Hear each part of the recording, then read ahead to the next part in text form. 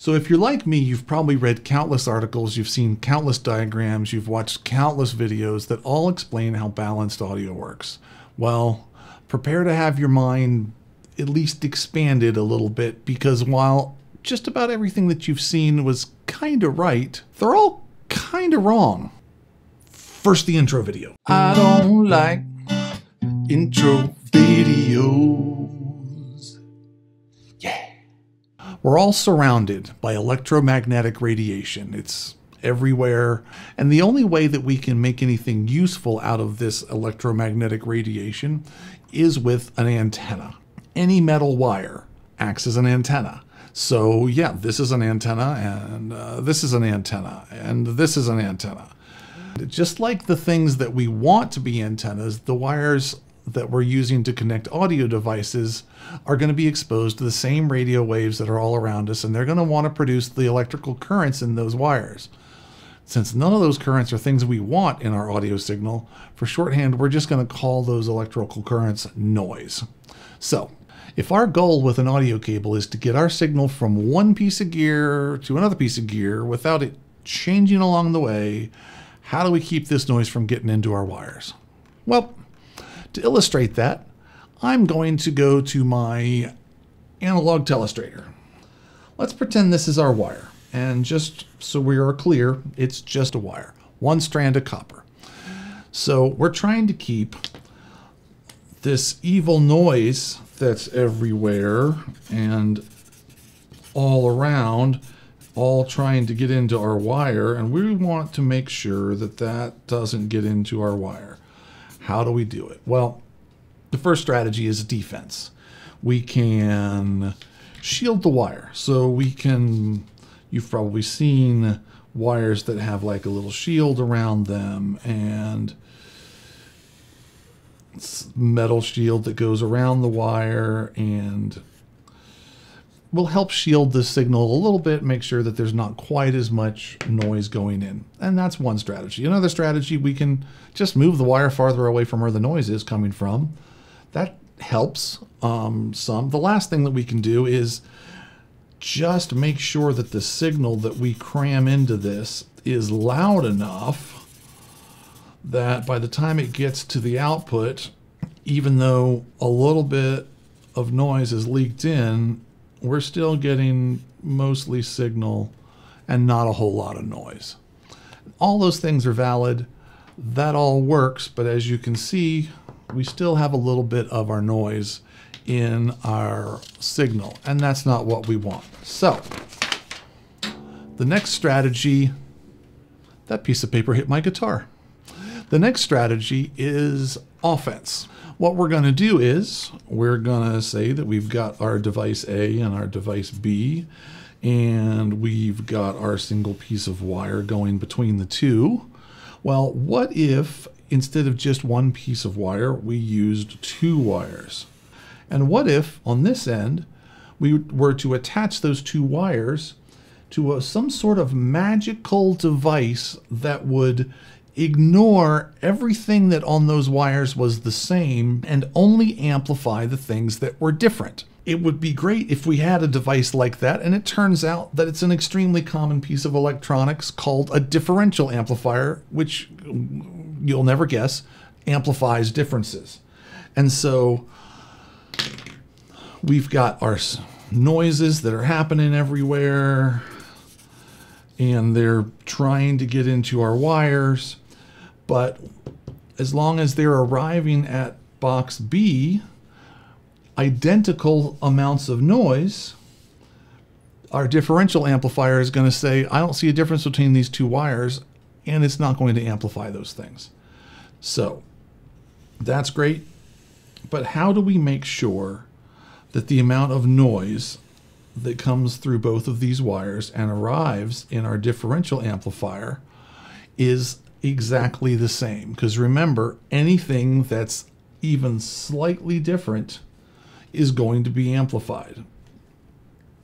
Well, the key, it turns out, is that both of our wires need to have the same impedance.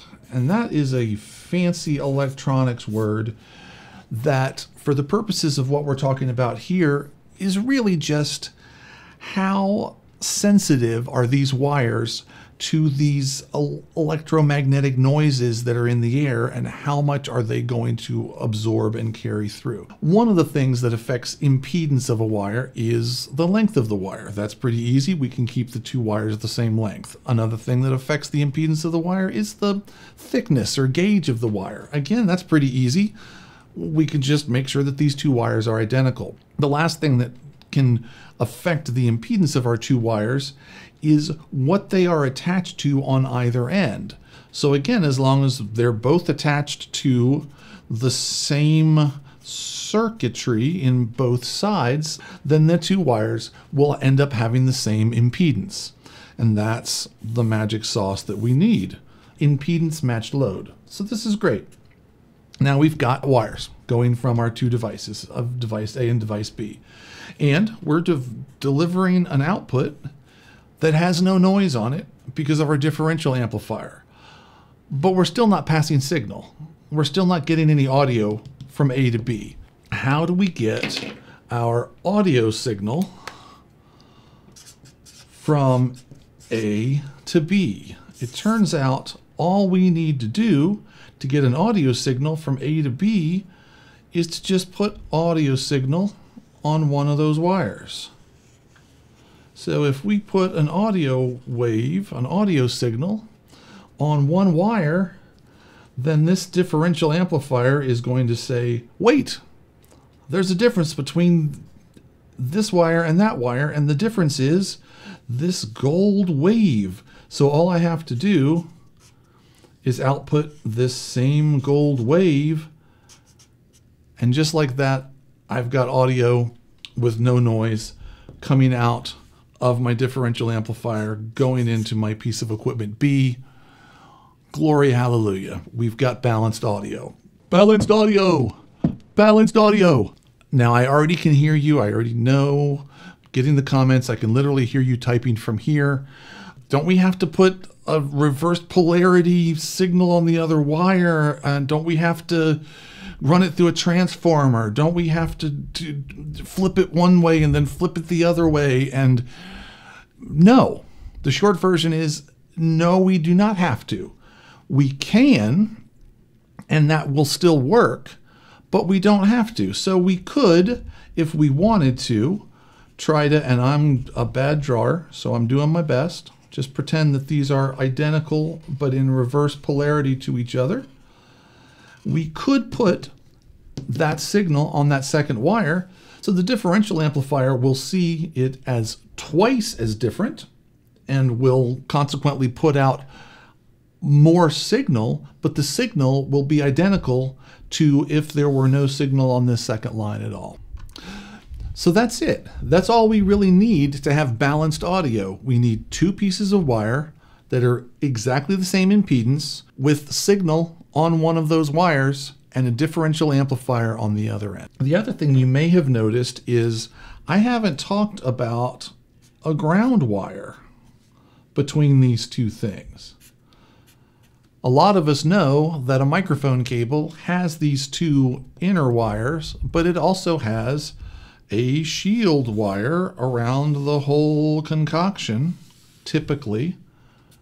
Well, guess what?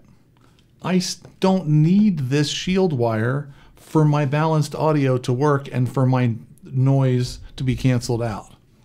So to finish up, I know I haven't talked about transformers. I haven't talked about electronically balanced circuitry and how that compares to transformers. I haven't talked about why you would ever use an unbalanced connection because sometimes you would. There's a lot of details that I haven't talked about, and we're going to save that for later videos, so look for that. In the meantime, as with all my videos, I've planted several minor inaccuracies in here just to see who can find them, and because I like to see people do the comments. So please feel free to share with me what you found. If you have other questions specifically about this topic so that when I'm building my next video, I know what it is that I should talk about, please share that. If you like it, hit like. If you don't, hit subscribe. If you really, really don't like it, then share it with all your friends and heckle me because then my views go up. Appreciate it. Thanks a lot for listening. I will see you next time. And why they don't work the things. Balanced audio connections and why they don't control. It's getting into your body. The last step is.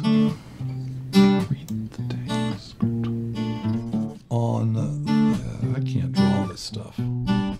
So what do we do?